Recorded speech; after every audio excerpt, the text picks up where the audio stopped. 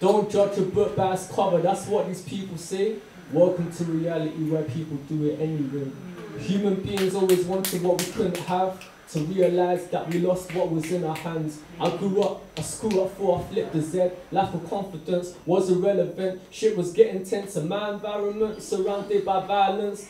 Raising Dagenham wasn't loved by this chick from Mouth Ends. I saw a part of her none of my peers could ever see. This is my therapy, knowing she won't remember me.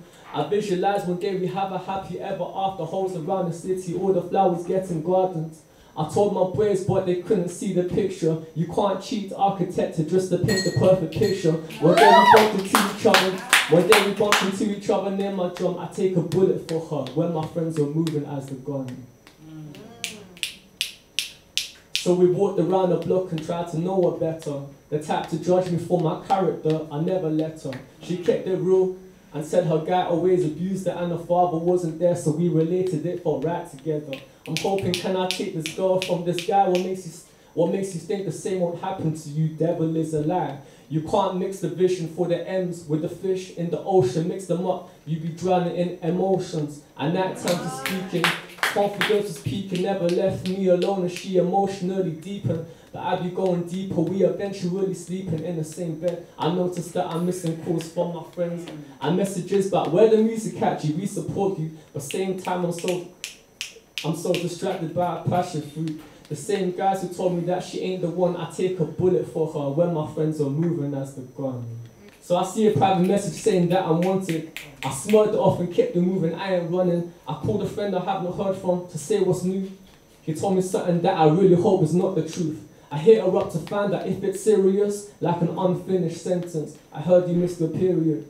Why am I stressing over what could be a blessing? Did I learn my lesson? Growing too quick into adolescence. You told me link her in the house I'm by the, so as I'm by the door, I hear a voice behind me saying, Did you hear that the hood don't love you? I said, Who are you? He said, That's my girl, and that you don't belong to you. Should I be egotistic? My man is telling me to say I love that. Your chick, my mouth is saying, Really, is it? In my mind, I'm thinking, will I be the next statistic? Either I'll be dead or pull the flicky out and be in prison. I stood my ground outside and trying to look tough, but deep inside I'm panicking. Am I about to get rushed? Should I follow in my guts or see my guts in my or see my guts in my gloves? Cause how can I believe in love when it be hard to build trust? So I see him standing with two men. What happened next? I'ma leave that for part two. And this story is true.